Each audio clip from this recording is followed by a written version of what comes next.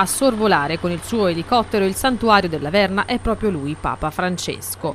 Il video risale al 22 di giugno scorso, ma il Papa alla Verna ci potrebbe venire davvero nel prossimo autunno. E proprio in autunno potrebbe già trovare in buona salute quella foresta ferita nello scorso 2015. Era marzo quando una tempesta di vento si portò via una fetta, circa 6 ettari di foresta monumentale nei pressi del santuario francescano. A distanza di oltre due anni gli alberi abbattuti sono stati rimossi e presto saranno in piedi anche tutti i muretti. Voglio ringraziare tutti, voglio ringraziare per la collaborazione il parco, la regione, la provincia che si è impegnata insieme a noi nel tavolo che io misi su qualche mese fa e anche la provincia si è impegnata con altro importante finanziamento di 20.000 euro che quando avremo finito tutti i lavori risistemeremo anche gran parte del selciato perché capite bene passando i, mezzi e le lastre poi si muovono, insomma ecco, sarà risistemato tutto. Per quanto riguarda la piantumazione di nuovi alberi sarà il Parco Nazionale delle Foreste Casentinesi Monte Falterone e Campigna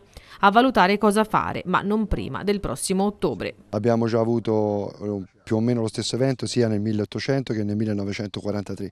Questo significa che questa è una zona già soggetta. Questa volta anziché andare a rimpiantare pensiamo che sia utile vedere come eh, ci, ci, sarà una rinaturalizzazione da parte eh, della natura stessa.